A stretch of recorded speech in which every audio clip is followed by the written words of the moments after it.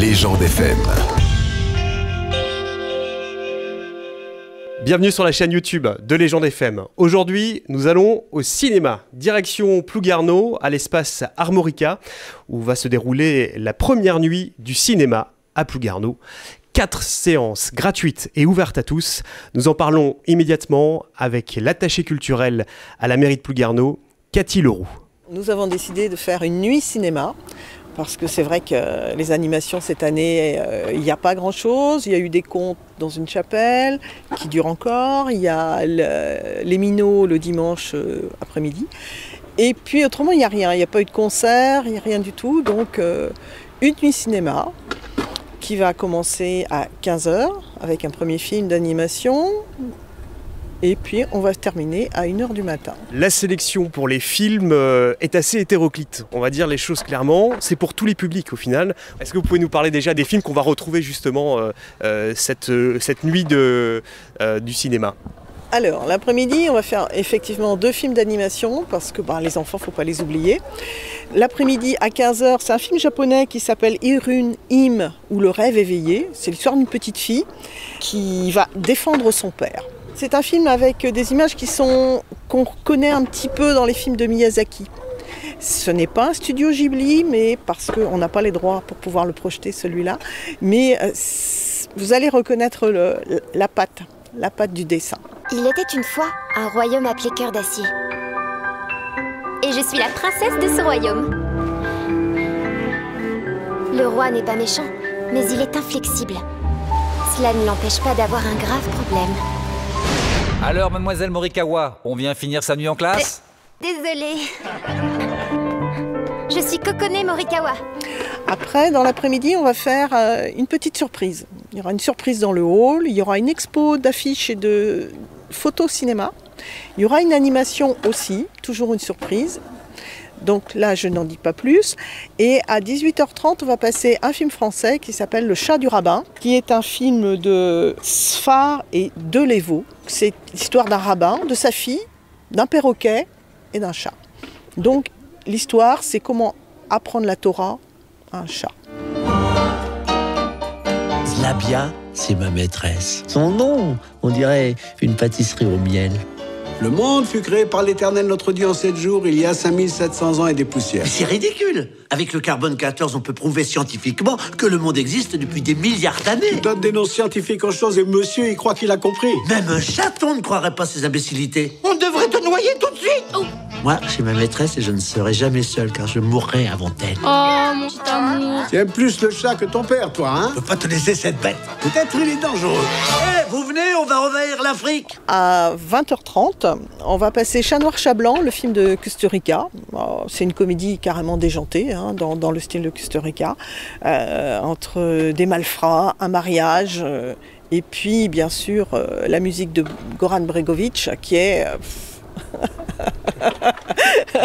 à couper le souffle. Pour ceux qui connaissent les films de Kusturica, entre La Nuit des Gitans, des Gitans pardon, Underground, euh, Arizona Dream, euh, on voit la progression dans sa façon de réaliser les films et puis toujours avec son complice, donc euh, Goran Bregovic pour les musiques, et c'est c'est fou. C'est fabuleux. oui.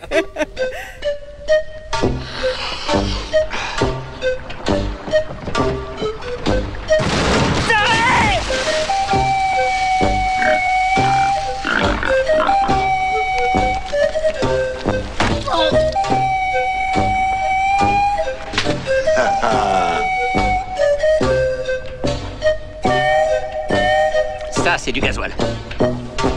Je sais ce qu'il faut faire et je vais le faire.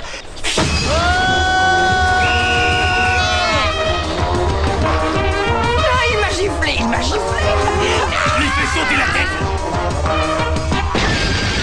tête Et puis pour terminer, donc euh, 23h23. hein, 23, j'y tiens. Donc le film de, de Lurman, euh, Moulin Rouge, avec euh, Nicole Kidman et puis euh, comment McGregor pour, euh, pour ce film musical parce que ben, c'est une belle comédie. C'est puis bon, faut mettre de la musique aussi. Hein, on va pas faire un film trop sérieux. Moi, je voulais quelque chose de léger. C'est à- pour tous les publics. euh, c'est les vacances. On n'est pas là pour se prendre la tête. On a envie de passer un moment agréable. autant le faire. Venez me chercher, les. Ils la désiraient tous.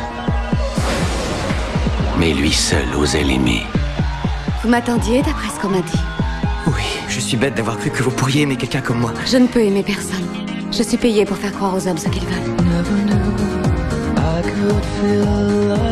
Je crois à la vérité, à la liberté et par-dessus tout à l'amour.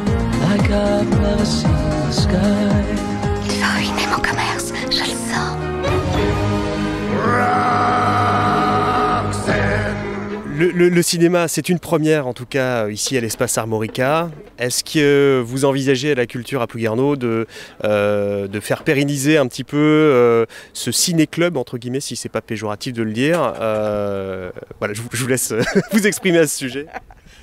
Oui, c'est une action que, nous avons envie de, pérenniser. C'est pas un ciné-club. Ça peut être avec des soirées à thème, mais ça, ça peut être fait appel, faire des propositions aux gens et qui nous viennent nous dire euh, bah moi j'aimerais bien bien ça, pourquoi pas. Et puis on peut euh, avoir tous les répertoires. Il ne faut pas se, cantonner, comment dire, euh, à des films. euh, dans une certaine mouvance, c'est-à-dire on peut prendre des films art et essai, euh, mais tout le monde n'ira pas voir des films à- essai. On peut faire des films du répertoire, c'est-à-dire on peut faire des films américains, on va prendre des Crap- Capra, on va cibler qu'une partie de la population. Et moi, ce que je veux, c'est que tout le monde vienne.